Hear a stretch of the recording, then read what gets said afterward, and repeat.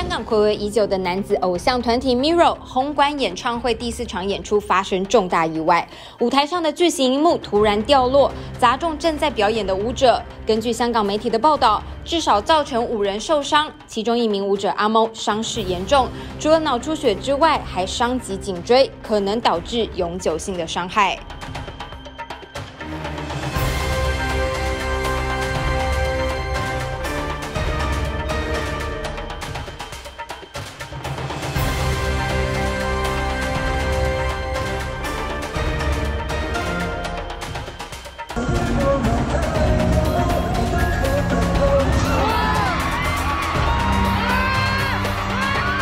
請大家誒安靜離去，因為我哋而家都等緊救護隊。請大委員開門，請觀眾安靜離開。我係花姐，嗱，我哋而家遇到意外，我好想你哋俾我哋處理好件事，你哋慢慢停去開場，我求下你哋，好多謝你哋對 Mirror 支持。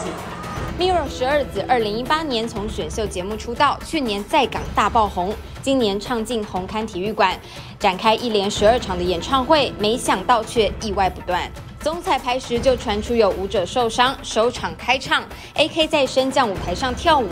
舞台疑似机关卡卡，大力晃动，AK 重心不稳，差点跌落。十二子在天桥上唱歌的时候，天桥却不断摇晃，空中滑道舞台的高低差距太大，也让在上面又唱又跳的成员们险些跌倒。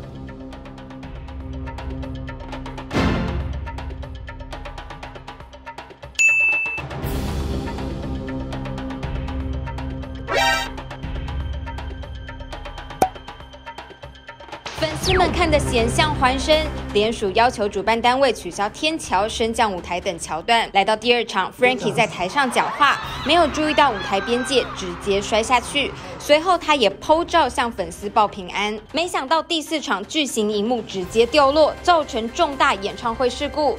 经纪公司也宣布取消接下来的八场演唱会。受伤舞者阿嬷女友 So Chin 所属的女子团体 Color 也暂停活动。艺人前辈古天乐、陈奕迅、郑秀文等也纷纷发文献上祝福，祈求伤者早日康复。